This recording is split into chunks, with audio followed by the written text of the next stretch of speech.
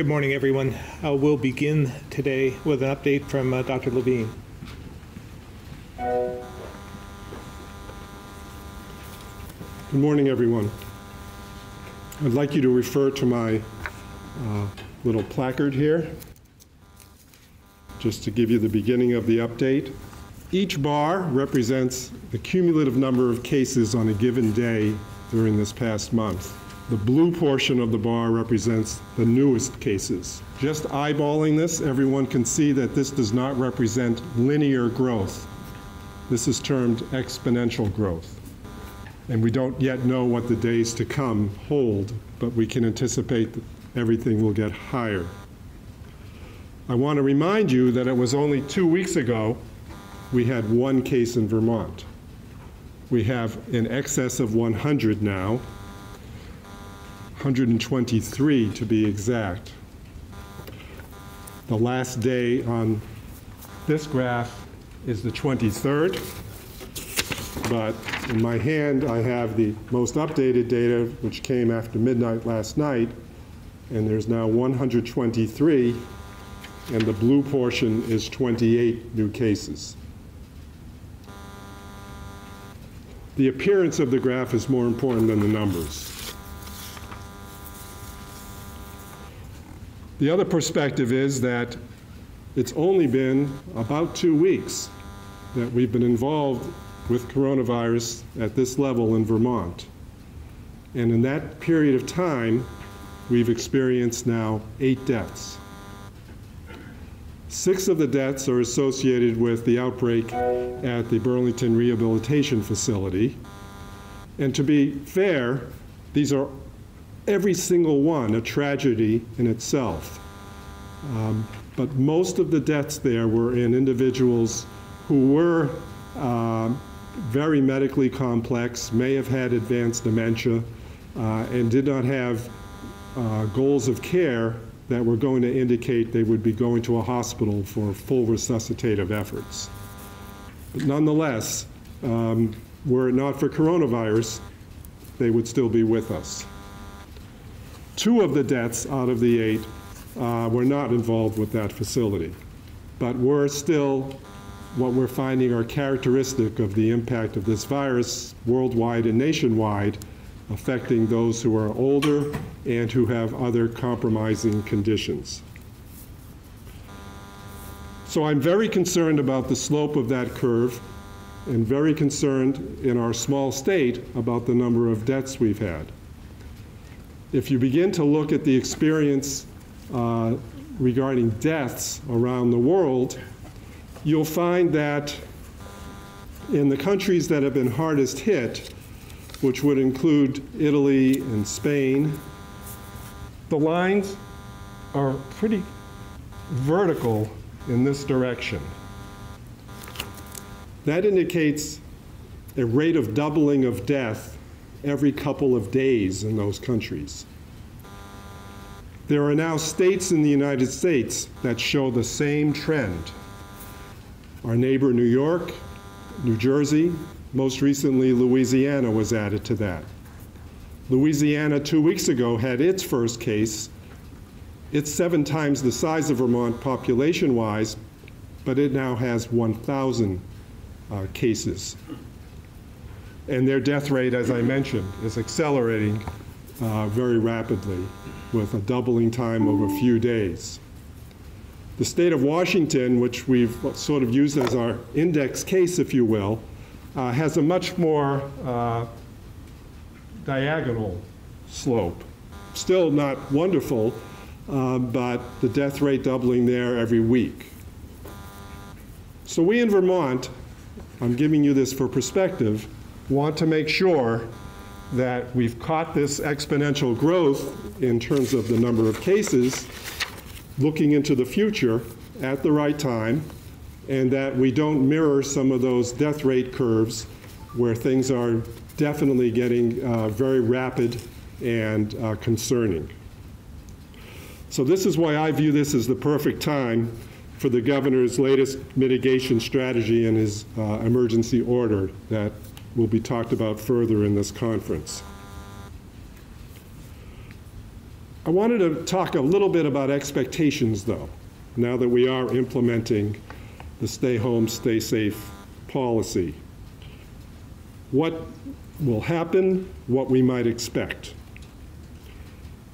Many press conferences, we've given you this sort of 80% rule. And the 80% rule is still true, that 80% of those who get this virus are not going to be hospitalized, not going to be in ICU, certainly going to remain alive, and may have a mild to moderate illness that they can weather out at home isolated. In the setting of a large scale outbreak, as we're seeing in a number of other states and countries, you have to realize also, though, that not everyone is going to be immune in that 80% category. And there will be some people who are in the 20 to 40 or 50 age group who may get sick, much sicker than uh, we would have advertised, so to speak. And we're finding worldwide that some of the deaths fall in those categories too. Uh, so I'm not saying this to be uh, scaring anybody, but at the same time, we have to be realistic that in large scale outbreaks of disease, um, if you have 100,000 people that are sick, 20% uh, of them may be uh, younger that are hospitalized um, just because of the sheer numbers. But we still know that the likelihood of a very bad outcome in people who are younger is very, very low, but that the likelihood of the bad outcome as you get into 70s and 80s and above uh, becomes much, much, much higher. We know this is going to be a great hardship for people. We know this is unprecedented. But we also know this is really scientifically sound, but hard. And we know that um, assessing the magnitude of the impact is challenging. This is a major lifestyle change for all of us to experience. But one thing we do know, and that's the magnitude of the impact if nothing is done. And I can assure you that the impact of what we're going to do will lead to a far more favorable end result than if we had done nothing at all. Everyone in the country is asking, how long do these things have to go on for? Is two weeks enough? Will we be open by Easter? Is three weeks enough? Should it be three months? I wish I had the very crystal clear answers for you, uh, but we don't have those answers, not as a national community or a global community, and we are learning all the time. We do know that we really do want to make sure that we suppress the virus to the point where not as many will be ill and not as many will be in the position of potentially overwhelming our healthcare system and its resources. And those are the goals that we have. Not that we will prevent everyone from getting this virus ever in their lifetime. That's not how it will work. So, although there are questions, we need to realize that we need to all be in, all in. It's helpful as we see other states joining this effort that we will have more of a regionally and maybe even nationally coherent uh, community kind of response to this, uh, which has worked well in other nations. We need to continue to learn from other countries and almost feel grateful for the fact that the United States came a little later in the game for coronavirus. And on a statewide basis, states are having activity at different levels. So as we go through this period of time that uh, we say stay home and stay safe, we will actually be able to benefit from studying our own statistics, as we will every day, but studying the statistics we find in the world where various strategies are being tried for various durations of time.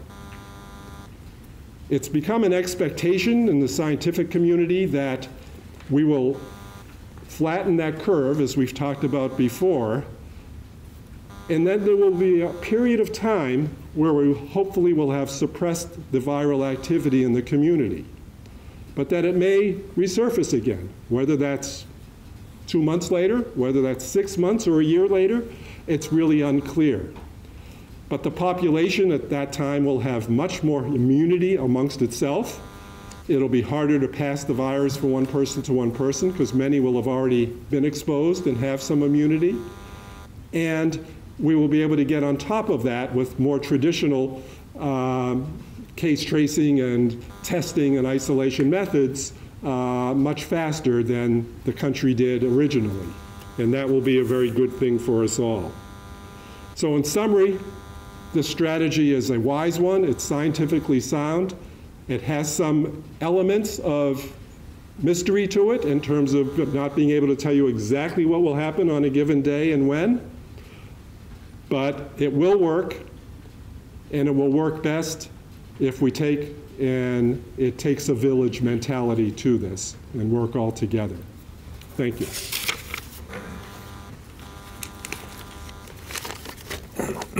Thank you, Dr. Levine. I know these are not easy times. There's a lot of economic uncertainty and much concern about the health of Vermonters due to the COVID 19 pandemic. I share the concern in both of these areas, but as we look at the challenges ahead, public safety must come first, which is why yesterday I issued the stay at home, stay safe order. Around the country and here in Vermont, we've seen an increasing number of cases which continues to grow. This is not unexpected. And while each and every step we've taken is needed, they have been difficult decisions to make, and this is a responsibility I do not take lightly. But here's what I need Vermonters to know, and this is what I need from them. I need you to stay home.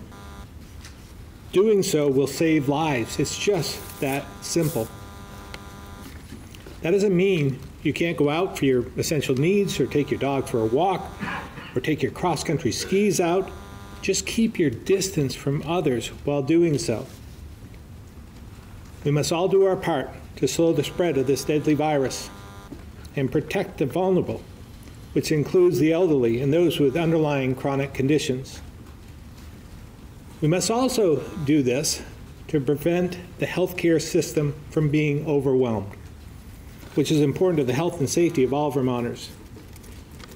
I fully recognize the emotional, financial, and economic impact this order will have, but based on the best science and the guidance of our health commissioner and the EPI team, each of the actions we've taken are absolutely necessary. And it's possible, as a forewarning, more may be needed. With the order I signed beginning at 5 p.m. today, Vermonters need to stay home as much as possible.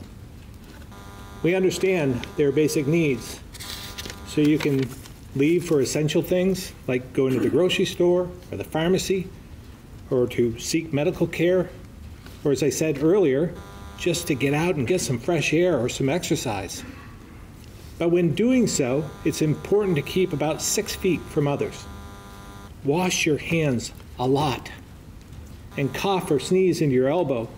And if you're unsure about something, whether you should be doing it or not, err on the side of public health and stay home. This order also directs businesses and nonprofits to suspend all in person business operations. To be clear, this is on top of the closures I've already directed and a requirement that anyone who can work from home should do so.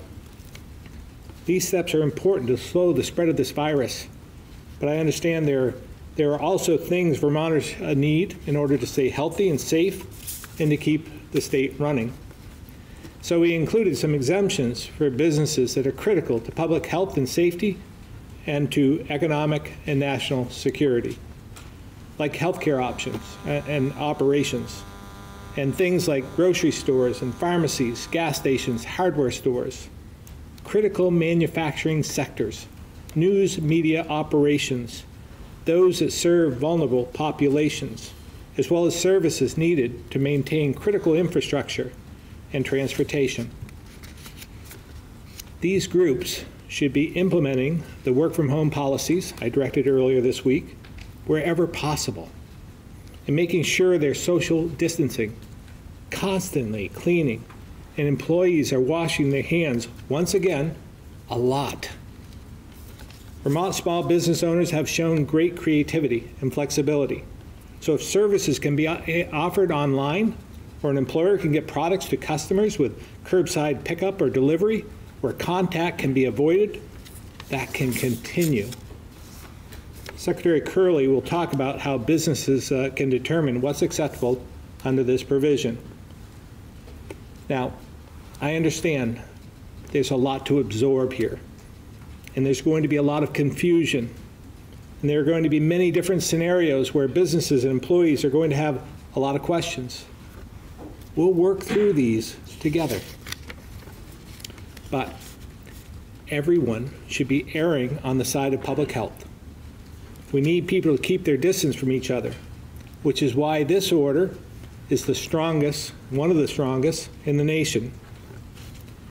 Just to put this into perspective for those that may think we're going too far, this virus is spreading quickly. It may not have affected you yet, but all too soon, many of us will know someone personally, and then it will start to feel very real. This is why we're asking our businesses to think beyond the next month. We all care about the health of our employees, family, and friends. The steps we're taking today are all about protecting our loved ones so we can come out of this as strong as possible. Today, we'll also be announcing that in coordination with Amtrak and partner states, Vermont will suspend all Amtrak service beginning tomorrow. More information will be coming out later today. Additionally, due to the recent snowstorm and the accumulation we received, and in consultation with VAST, they have agreed to close its trail network for the season beginning today. It's important to remember if we follow these stay at home measures closely, we can get through this quicker and more safely and get on with our daily lives. And then we can get our economy moving again. Now, I have tremendous faith in Vermonters and our ability to follow this order to save lives and to support each other in this time of need. Now is a moment of service for all of us. It's our turn to face a once in a century challenge. But I know Vermonters are up for it because we're Vermont strong. We'll get through this, but we'll do it together. So I'll now turn it over to Lindsay Kurrle, our Secretary of Commerce and Community Development. Thank you, Governor. Good morning. I'd like to start by saying that we at the Agency of Commerce and Community Development fully recognize how hard the last few weeks have been on our businesses, employees, and all Vermonters. We hear you and we will continue to keep you informed with daily updates and guidance and provide answers to your questions. We'll continue that effort each and every day moving forward, knowing full well that the days and the weeks ahead will bring more pressure to the economic vitality of our business and people. I want to stress the best thing we can do for our business community is to get through this crisis quickly. And that can only happen if we are putting our health and the safety of Vermonters first.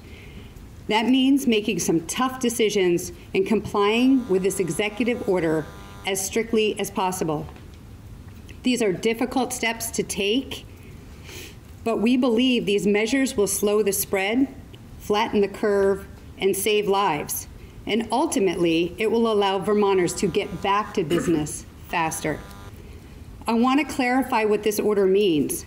The governor has directed all in person business operations to suspend unless you are deemed essential to the COVID 19 response or national security.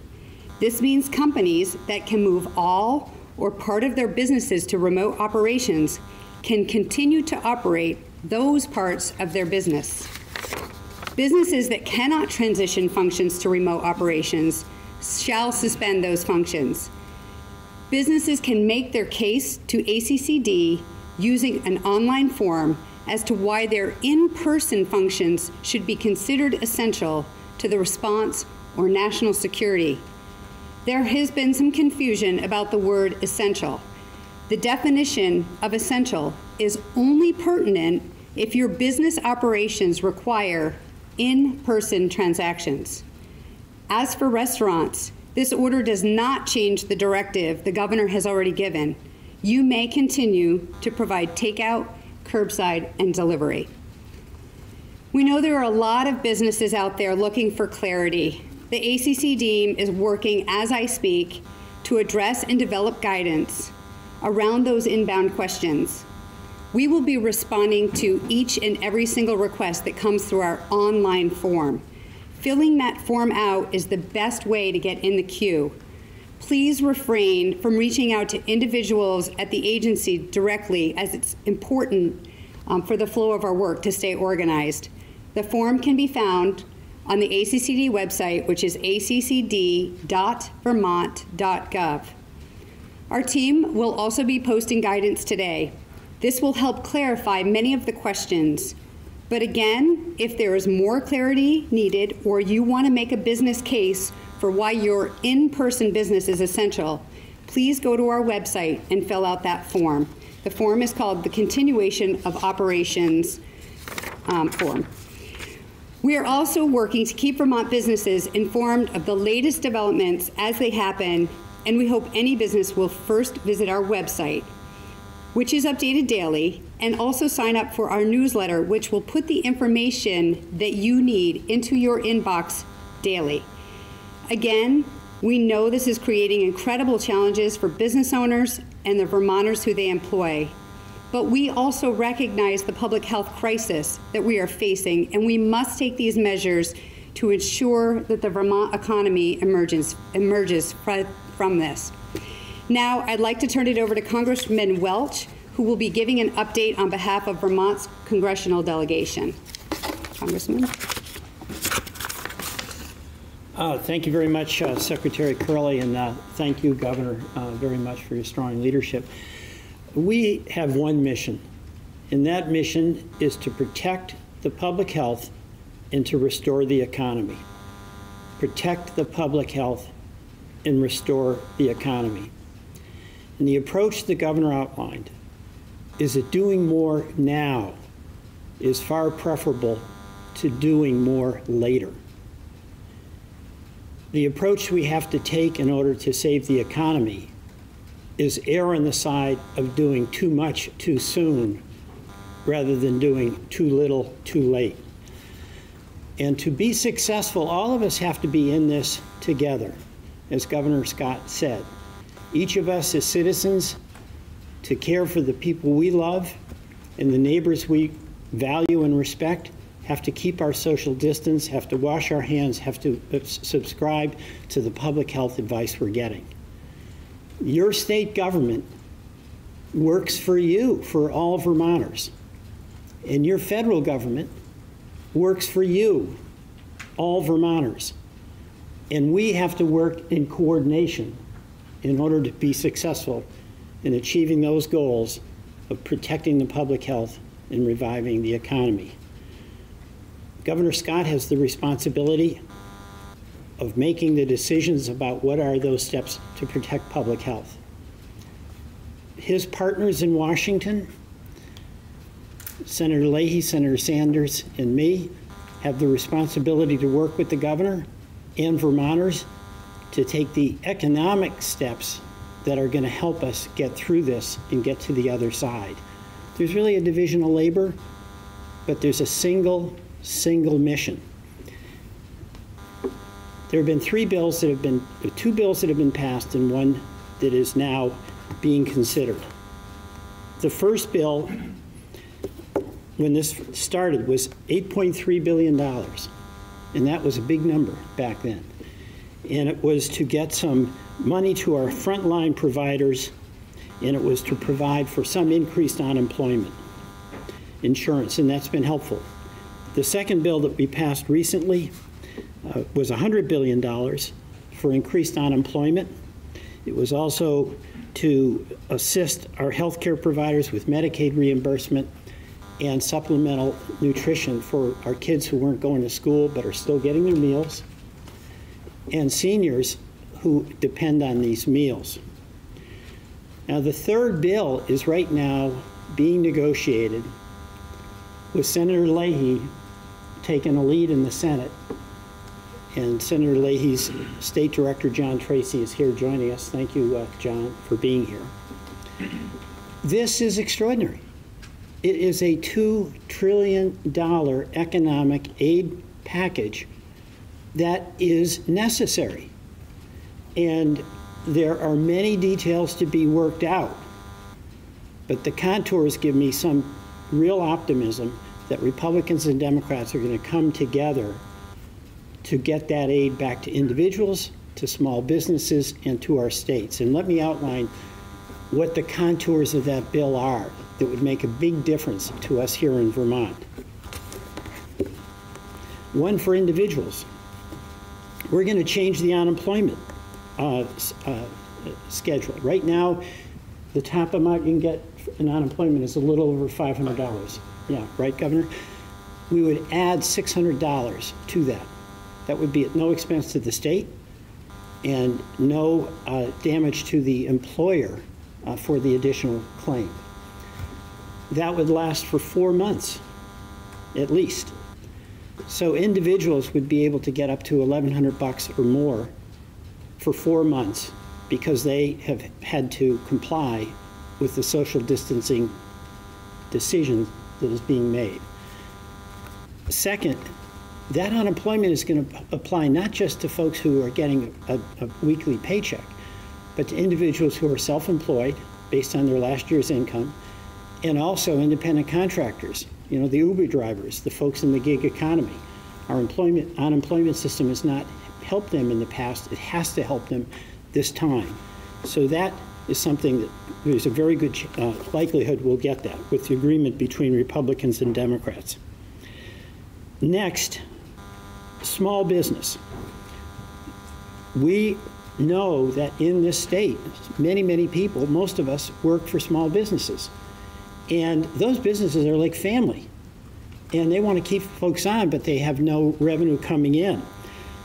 So there is going to be roughly $400 billion in emergency grants, loans, and loan forgiveness. It can be applied to rents and mortgages, utilities. Uh, It can provide a retention tax credit for employers who want to keep their employees on and pay 80% of what their wages had been. So the goal here is to help the small businesses through this time when the lights are off, so that when the lights go back on, they're still in a position to get back to business and get folks back to work. The hospitals is another component. Our hospitals have taken a huge revenue hit because they've had to stop elective surgeries. That is generally the difference between red ink and black ink for all of our hospitals that are vital to addressing this challenge, but also to uh, the economic health and well-being of our citizens. There's a $100 billion fund. Most of us believe that should be a down payment because our hospitals are going to need more. And then finally, there's state aid. Uh, As the governor has explained, the revenue impact of Vermont and to other states as a result of responding to this is immense. And it hits on two sides, the revenue side, which is down, the expense side, which is up. And we believe that it should be the responsibility of the federal government to be the one that bears the burden and not transfer it to the state or to the local taxpayer. So in the current legislation, where there appears to be significant progress in the Senate, and uh, again, thank you, Senator Leahy, for his leading role on the Appropriations Committee as lead negotiator. We're focusing on small business, we're focusing on aid to the state of Vermont, we're focusing on aid to individuals, and we're focusing on aid to the hospitals. Uh, We're only beginning, but what we have to never stop doing is working together. The federal government has to be a partner, hand in hand with the state, and both of us, the state and federal government, have to be working for you, for individuals who ultimately are bearing the burden of the challenge that we face. I can speak, I know, for our congressional delegation. Bernie, Patrick, and I will be here. We'll be here for you, Governor Scott, and work together every single day in every way we can to help us get through this. Thank you. Uh, Thank you very much, Congressman Welch. We, uh, we are very fortunate here in Vermont to have a strong congressional delegation that's working on the behalf of all Vermonters. Uh, I will say uh, Senator uh, Leahy had called me not, not long after 7 a.m. this morning when I was at the office, and uh, he had had a late night going past 1 a.m., but he wanted to call and let me know that they had passed something or agreed on something, so to give us some comfort. So I appreciate that. Uh, With that, um, we'll open it up for questions. We'll move on to Sean Cunningham, the Chester Telegraph.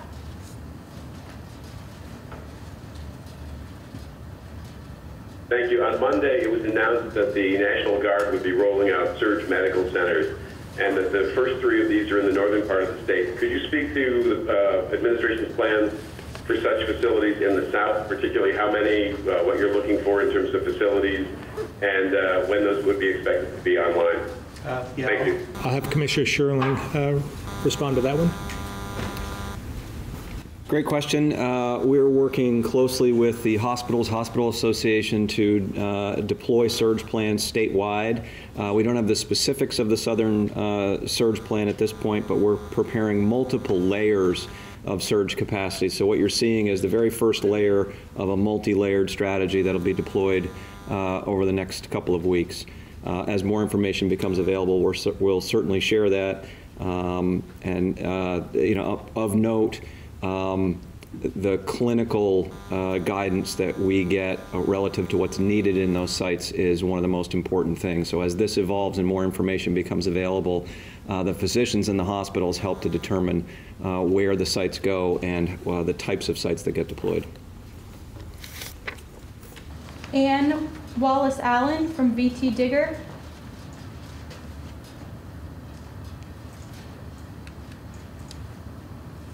Star six to unmute. This Ann Wallace. Ann, can you hear me? Yes. Um, Are are there any penalties for businesses that uh, stay open that are not essential?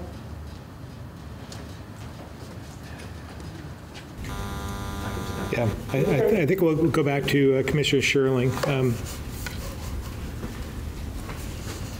Uh, As the governor's uh, indicated on a number of occasions, Vermonters are really coming together to, uh, to heed the orders that have been uh, uh, issued to date. We expect the same will happen um, with this additional order that was issued yesterday. We're about to issue guidance to municipalities and, uh, and law enforcement organizations um, with suggested guidance on enforcement, and that really will take the form initially uh, of education and voluntary compliance. We really think this is a largely a self-regulating event, but there are potentials uh, for penalties if you violate a- an executive order, and there are additional things that could happen. For example, if a restaurant opened, there are health department implications and other licensing implications that could be at risk for putting the public health at risk. Um, But really, we do believe that education uh, and uh, voluntary compliance is the key uh, as Vermonters come together during this difficult time. I also want to, uh, I also want to say that uh, we've had a great response uh, from Vermonters on this, uh, on the first round. Um, Many of the bars and restaurants and so forth that, that had to, uh, uh, to close, um, and it was difficult for them, but they really have used their creativity and imagine, imagination and had done so willingly, understanding the mission that we're, we're facing. All right, Keith Whitcomb of the Rutland Herald and Times Argus.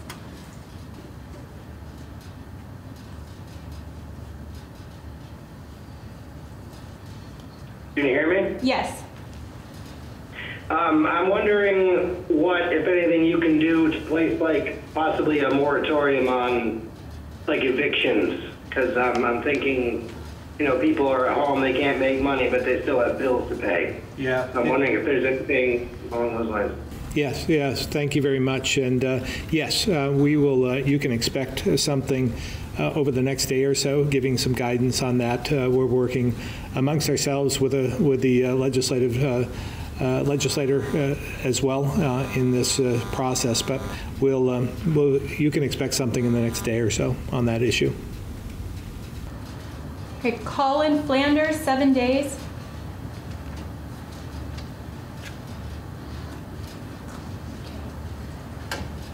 Um, thank you. So, uh, Governor, I have a question for you. Uh, could you just speak to what you're hearing come out of the White House specifically? I think as um, Dr. Levine alluded to, the we will be up and running by Easter. Um, could you just give us your thoughts about that? Um, yeah, I, I can only tell you uh, from my standpoint, um, I think that is uh, a bit over-optimistic, uh, to say the least. Uh, You know, this is going to take uh, weeks and months, uh, and this is going to be difficult.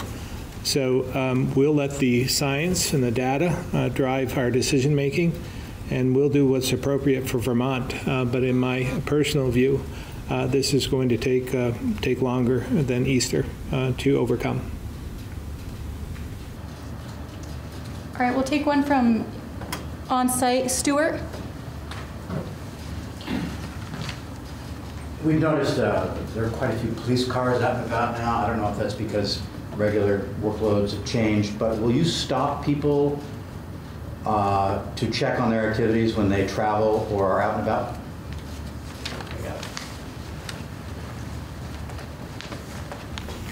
Uh, You have seen an increase in uh, visibility of of law enforcement. That's by design uh, during this time. Uh, The presence of someone out and about does not create uh, the lawful ability to create a stop, whether that's on a- in a motor vehicle or a person walking, um, because there are legitimate reasons for people to be moving around. So that will also be part of the guidance we issue to municipalities and law enforcement organizations. All right, we're going to go Calvin in the room. Um, So probably another question for uh, Commissioner Sterling. So um, what circumstances would uh, allow police to stop somebody if they were out and about? And also, uh, for the governor, what is the um, the penalty for for breaking an executive order? Uh, Relative to folks that are out and about, the, the, uh, the criminal overlay hasn't changed, so we- the law enforcement officer would have to have reasonable grounds to believe that person committed a crime. Uh, Being out and about does not create a direct nexus to a violation of, uh, of the executive order, so the two things don't directly connect. You'd have to have something else. Uh, In terms of the second part of the question, uh, we are still working under the, the model of encouragement and education. Um, We have seen uh, no abuse of that thus far. Uh, We're going to continue uh, down that path until we find it necessary to do otherwise. But, uh, but again, encouragement, education, Vermonters will do the right thing uh, as long, as long as they understand what the issue is. And that's why we've been trying to, to provide that, that education ourselves as to the magnitude of the issue that we're facing. All right, Liam from VPR.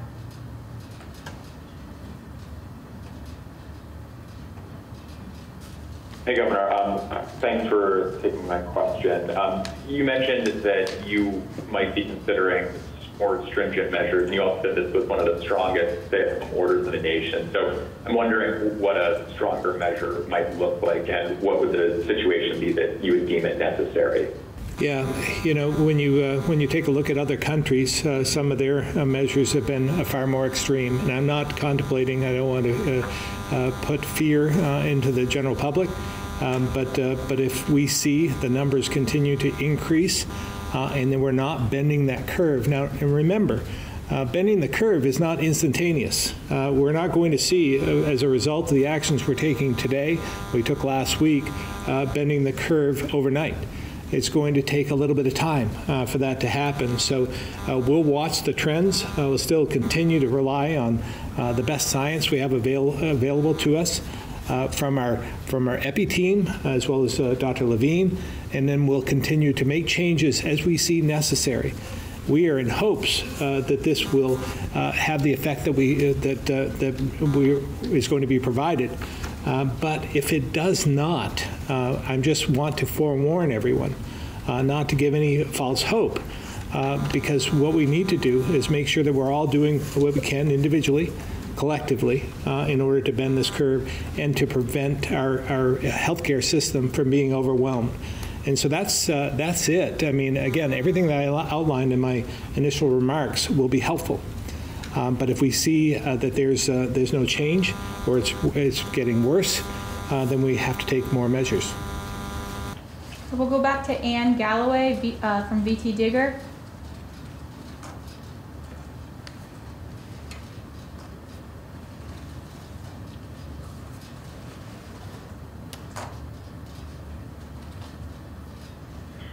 Can you hear me okay? Yes. Oh, good, thank you. Uh, I wondered if you all could give us an update on hospital readiness. How many ventilators do we have, ICU beds, and how are the, how is the PPE situation coming along with uh, any additional surge facilities that might be um, stood up in the next few days? Yeah, I'll let uh, Dr. Levine uh, answer at this point, or, okay, yeah, sorry, Secretary Smith. And this is uh, Mike Smith, just to give you some, as of today, bed, uh, hospital bed uh, uh, availability of 575 uh, total uh, beds. Ventilators is 163. Masks, N95 masks are 78,000. Surgical masks are 88,000. I do want to say this, we have uh, 19 people uh, inpatient uh, with COVID-19 in our various hospitals across the state. We have 17 that are, are are waiting uh, and have, are sus- suspected of having uh, COVID-19, but are not, uh, have not um, uh, had that patient, I, I, it, the, the term is patients under investigation uh, right now. And I want to be, uh, uh, I want to talk about surge a little bit. This is not, these, these numbers I gave you are not enough. As we're looking at the surge here, uh, and looking at what we're looking, what Dr. Levine showed on his charts, I think at a minimum, we've got to double all the numbers I just gave you in terms of ventilators, beds available, uh, those sort of things, as we sort of look at where these trend lines are going. So as we talk about surge capacity, and the Commissioner Schirling can talk about that in terms of setting, setting up these additional sites, we also have to look creatively and layer our planning for, for worst case, for better case, for best case, but we need to start planning for a minimum of doubling what, what I just told you. All right, Brittany? Wait, we're going No, Give sec- it. yeah, See if you can add anything. Sure. Um, As we mentioned earlier, the, the surge site uh, build-out is, is happening, and uh, planning continues for that multi-layer. Uh, In addition, we're sourcing uh, both ventilators and PPE. Important to note that the hospitals and healthcare facilities have their own supply chains. They're accelerating those supply chains as fast as possible. The state is helping to supplement those supply chains. We've bought millions of dollars in ventilators over the last few days. We have 202 that are inbound to Vermont. The timelines for delivery aren't known yet, but we're buying them as fast as possible. The same with PPE. Uh, As many as we can find, uh, we are buying. Folks have been asking, how many do we need? The answer is as many as we can get a hold of. So we're buying them as fast as possible. I'd also um, add, uh, in terms of the surge capacity, we did uh, hear a report of those three sites being set up by the National Guard. Uh, As a reminder, the site at UVM or in Burlington uh, is 150, uh, 50 at, uh, in Barre and 50 at St. Albans. So there's, uh, there's 250 right there. So with the other eight sites that we've identified, uh, we should be, we will meet the capacity uh, that we need. All right, Brittany from Local 22? Um, My question for Dr. Levine, um, have you heard of any cases in Vermont where people are saying they're losing their sense of taste, they're losing their sense of smell? And if so, does that mean this is evolving, is coronavirus evolving to new symptoms?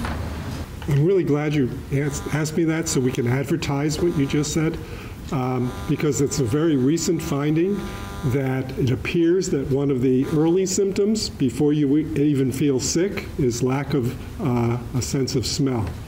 Um, This is so early that I can't say it's been confirmed by multiple investigators, but I think it's worthy of note, uh, and people should think about it if that happens to them, that perhaps it's an early sign of coronavirus.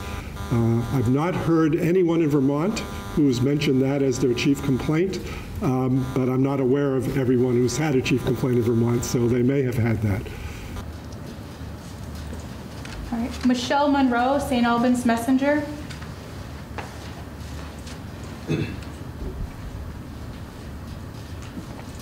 Michelle, star six.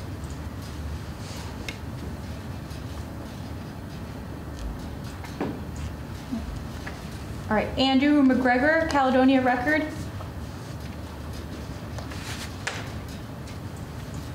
Yes, thank you. Um, uh, You just mentioned uh, an identified need for for wanting to double the number of beds, ventilators, and all the PPEs. Uh, Is that based on uh, updated projections you're working from? And do those projections have top-line numbers and and the time frame about when you need that capacity by?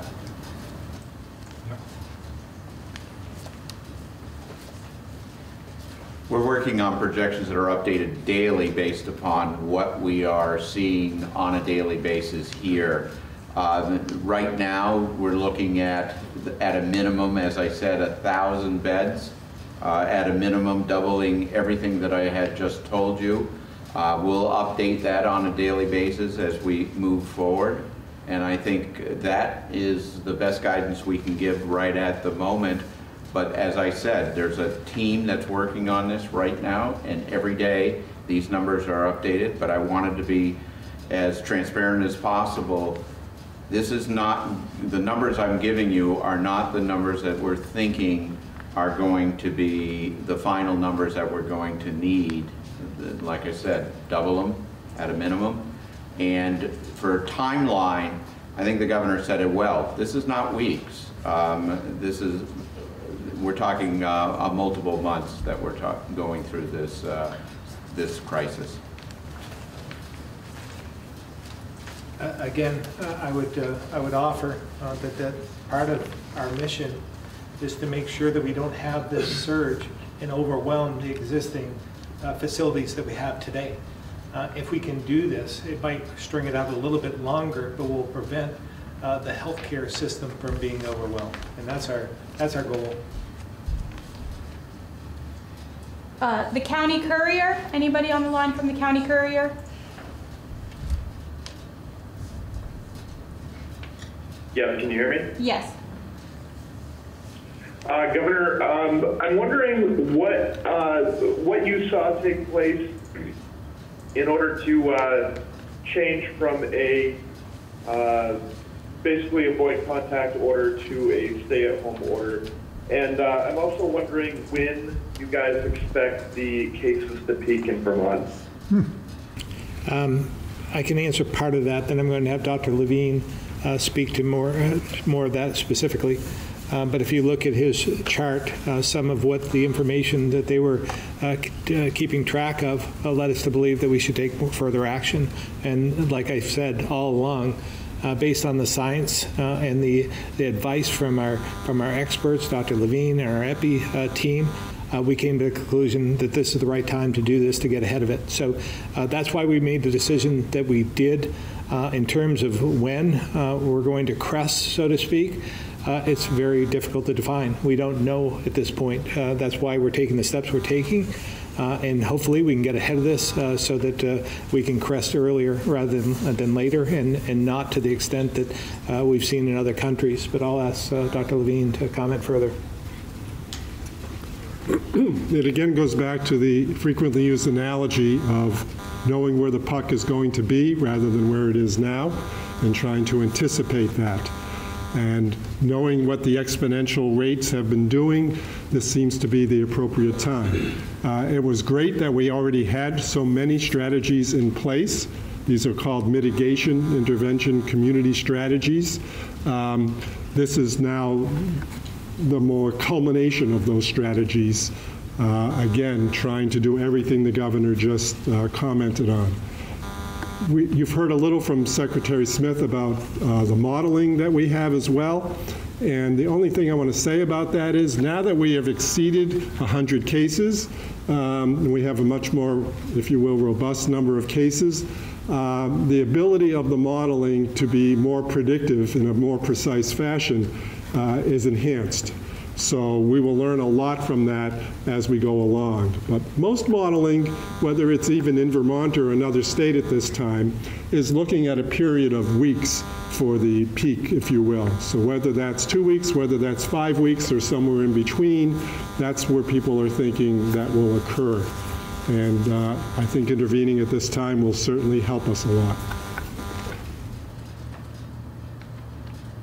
Chris Roy, star six. Can you, can you hear me? Yes. Yes. Um, I've seen some people who have been tested positive for uh, COVID, COVID-19, but they're still um, being released in the community. Um, why is that, and what's to stop them from not going part in everyday life instead of just going home? I think, I believe the question, uh, I'm going to let Dr. Levine answer this, uh, but uh, there are some who have tested positive and and have been advised to to stay home to treat this. Uh, Not everyone needs to be in the hospital, and uh, and I think Dr. Levine could answer uh, further on that.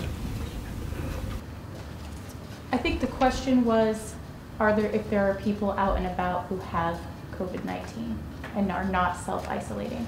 Right. So, again, to our credit, this is not a police state, so I'm not sure we know that information. We know that we have been in contact with anyone with a positive test and that they've been instructed appropriately.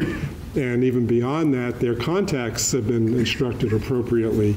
So the hope would be that anyone who had been symptomatic, tested, and knows they're positive, or had a high probability of being positive even if they weren't tested, but were told by their clinician that they had an illness compatible with this, have been doing the appropriate thing and staying, if you will, out of circulation.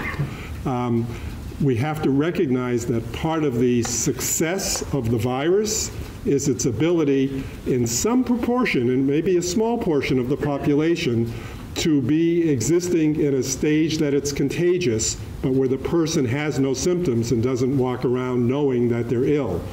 Uh, and that's how, indeed, a lot of community transmission, which we're seeing in Vermont, occurs. Uh, And just to further that, and uh, Dr. Levine can correct me if I'm, if I'm not stating this uh, correctly, but as soon as someone is tested, they're advised to isolate, to stay home, and not go out in the community. Um, So if we're seeing that, uh, we should know about it, but uh, at this point in time, um, we've seen that Vermonters are complying with that order. All right, last question, Lola from Digger. Star six? Yes, yes, we can hear you, Lola. Great. Um, so I wanted to uh, talk about uh, child care for essential workers. Um, guidance went out to superintendents today uh, that makes it seem like uh, school, school districts providing this is now basically voluntary, um, given yesterday's executive order. Um, is that correct? And if so, um, what's our capacity looking like uh, for providing this child care, uh, especially compared to demand? Uh, We have uh, Secretary, Deputy Secretary Bouchey here, and she'll answer your question. Thank you. Yes, Lola, that is correct. That's some uh, additional guidance from the Secretary of Education just went out today. We anticipate uh, a number of schools have set up um, either themselves or via partnerships with private uh, child cares in their vicinity, um, functional child care arrangements. We anticipate that those will continue um, as they as they can. Um, in other areas where they're still uh, struggling for a number of reasons to set up an in-school um, situation, we anticipate being able to help them uh, find uh, some private childcare spaces. I will say that uh, we have done a, a, a bit of a, uh scan just with the superintendents, and it does look like every area that has a number, um, a large number of students um, who, school-age students who need care, um, th- they have found it, um, and the schools have actually been able to set up care that uh, meets that need. So there are a few areas in the state where, um, luckily, it's not a lot of um, children, but they're also um, looking at, again, building more robust partnerships um, because they um, are having difficulty uh, with school-based care. And I will also let Secretary Smith uh, speak from the child care side. Thank you. I think as we transform and as we move to a new era here, as the governor's uh, executive order puts us into stay home, stay safe, that we're also going to have to look and transform that uh, that childcare sort of thought process as well. And so I think in the next few days you'll see some further guidance on how we transform that system to make sure we're taking care of essential workers and uh, workers from essential businesses. So more to come on that, I think, as you, uh, in the next couple of days. Uh, just really quickly, I know that you guys have been collecting, um, you know, through form requests for this care. Do you just have uh, numbers about the number of requests that have come in and the number of slots that are available so far? Yeah, I don't have that on me. Um, I, and I don't, it's been quite a few, and at the same time, there have been a lot of matching that's been going on. But I don't have the precise number. I did on Monday, if you would ask that question on Monday, but I don't have that today with me. Okay, thank you. I, I do have school age numbers as of uh, Monday. They were approximately 360 with um, about 30 more uh, pre-K. So that's uh, slots or, or requests for care?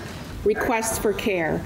In some districts as well, um, they're seeing a lot, a smaller number of parents take advantage of the slots. So these were actually requests for care, but it- again, in a, in a lot of the um, situations, a much smaller number of families and children are um, showing up to actually participate in the care. All right. All right, well, that concludes the press conference. I want to thank everyone that uh, called in, uh, as well as uh, those who are viewing in, uh, for their understanding, their patience, and uh, taking every step necessary in order to provide, prevent this from spreading. So you can all do your part, uh, but we'll get through this together. Thank you again.